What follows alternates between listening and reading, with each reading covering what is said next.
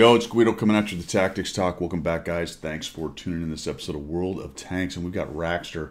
Raxter54 is back in his Scorpion. The American, the baby Scorpion, the little Scorpion. Not the German Scorpion G, but the Tier 7 American Scorpion. Loaded into Redshire on the north spawn, and he's going to head over here towards the east. Towards the northeast. I've had a lot of videos lately with guys trying to get better somewhere in the high 40% win rate to low 50s. And definitely seeing a bit of a theme with that. And it's been interesting as I have learned, as I've looked at these videos and watched these guys play, on just exactly what it is that is the difference between, say, a 49, 48% player and maybe a 53, 54% and higher player. And I, I think it's pretty obvious. People talk about it a lot, but often I think we have difficulty visualizing exactly what it means. And what it is that is said is reaction, right? Reacting to the flow, going to the right places, flexing, right? The meta flex, all of those words that we use that are often undefined and never really given examples of. So I've been trying to do that lately, it's been very interesting. So we got Rackster. He's in his ultimate ultimate sniper TD. Right? He's in the M56. This is not a tank you want to go up to the front with unless you have to, okay? We're going to talk about the times when you might want to do that, but right now that is not the time. And he has this great little spot here. All right, I have been hit from this spot multiple times. He knocked that tree down. I'm assuming that gives him some camo. I don't know how far up the tree that goes, but in any event, he's far enough back with enough trees and stuff in his way. He's not being spotted. So Raxter knows a spot and I think we all do that, right? We all have spots that we know are good. In the case of this spot, it relies completely on the other team pushing into you. If his team had enough tanks there to push, it's not a great spot because his team's pushing into them and the enemy's corresponding spot, which is back here, is working for them. But right now, he's got a good setup. That's a bad setup. He doesn't have enough tanks here, really, to push. He can't help and push because he's a little tiny scorpion with no armor. But the enemy team does, and they're able to push into his gun. It's kind of a strange thing. This is an example of what I like to talk about relying on the enemy team being bad. But this is the situation he has. It's the tank he has, and it's not a bad spot. So let's go ahead and watch Rackster work through this spot, because right now he's doing a really nice job here. Take a little shot onto the 34-100. Dude looks to be stuck. We're trying to reload. Nope, dies anyway. And we've gone to heat early, so we're using the heat up.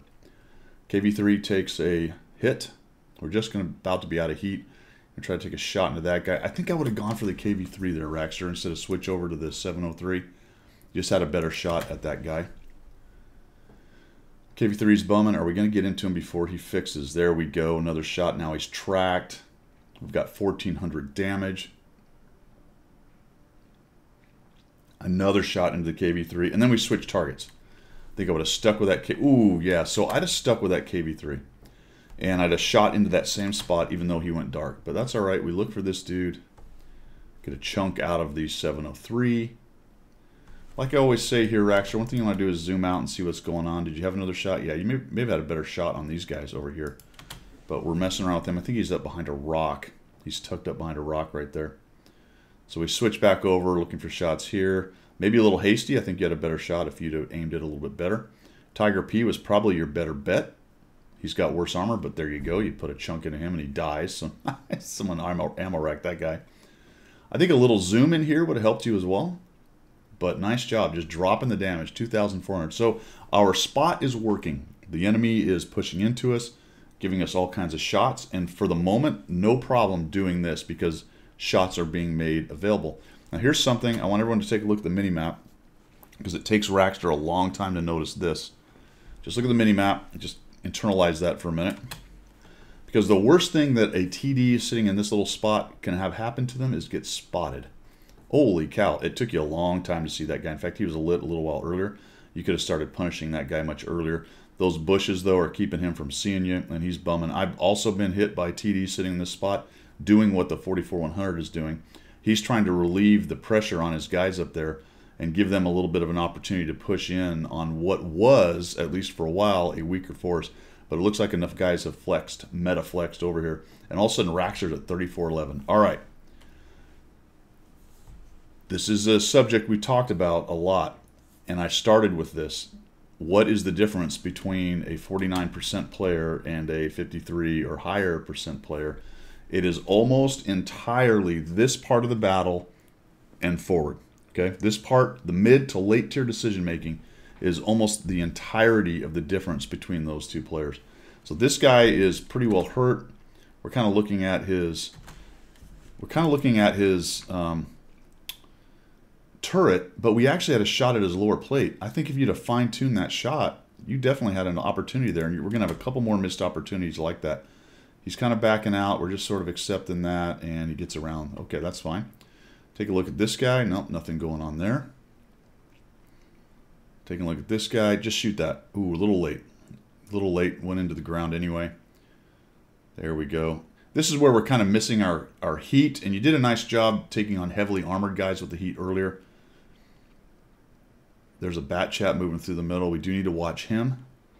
We don't want him to come back here and light us. Our 122 doesn't have a lot of hit points. The Oni just died. We accept a shot into the front of the T60, T60, what is it? T26E4. We when we, he gave us sides. Notice the the angle of that guy, the profile of. That's one thing you got to start watching when you highlight him. What is he doing? Well, he was backing up and turning. Think about this, backing up and turning to the right, wasn't he?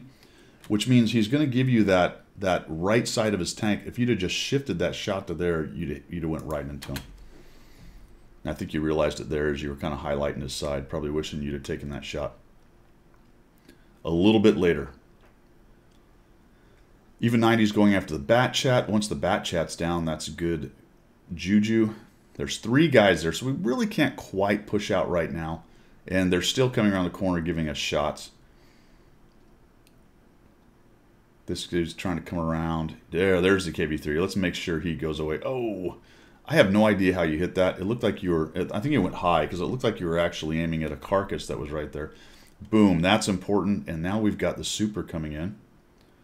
And we're going to shoot at, we're going to end up shooting at the hull. The correct shot in this case, Rackster, is right there. Just shift up into the side of that turret where you got the green going on this is going to be very difficult to pin around here, right here. He's giving you some of that side turret. You definitely had an opportunity to take that guy out, or at least put a chunk of damage. I wouldn't have killed him because he's got 600 something hit points.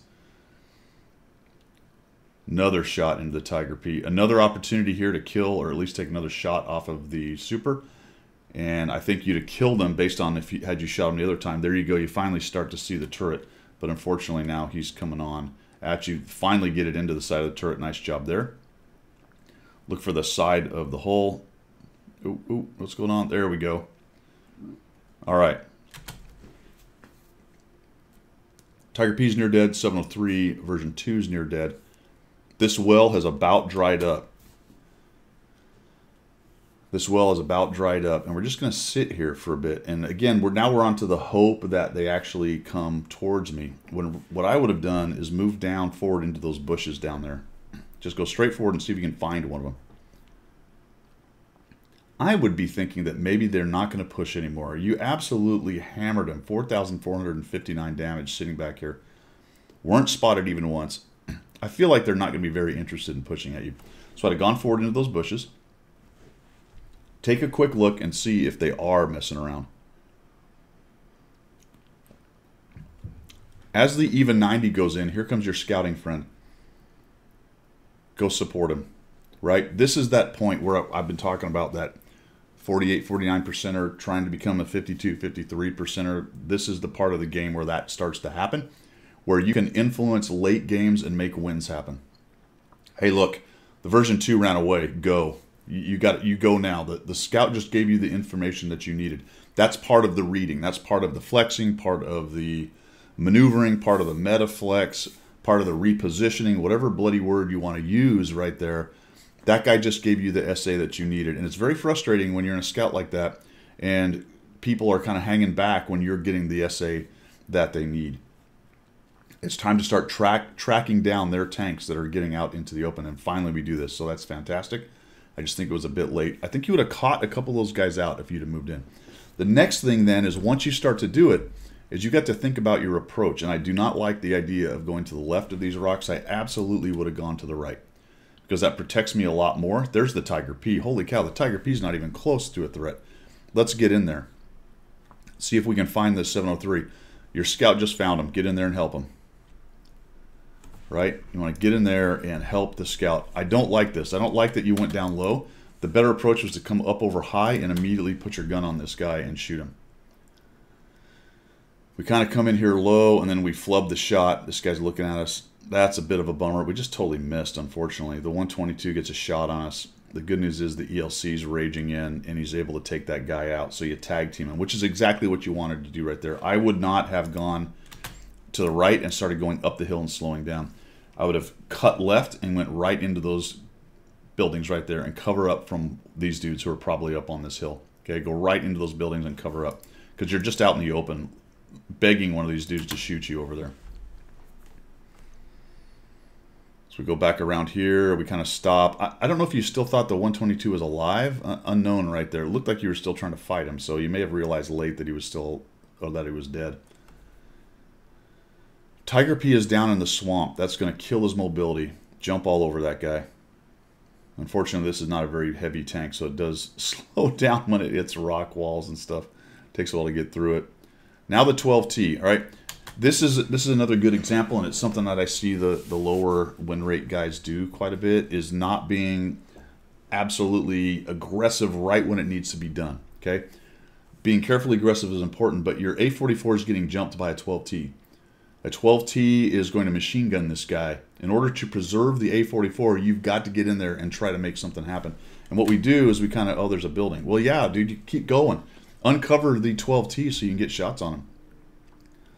You've got to get in there. There you go. We finally get there. There's a shot. And the 12T, by all rights, should be dead. And there, was no reason to back up. No, there was no reason. The guy is clipped out on the A44. It has a relatively fast clip reload, but you had to get in there and kill this guy. And be quite honest, we get really lucky on this shot. So you did it. The idea was there. It's just the execution was slow and, and a little bit incorrect.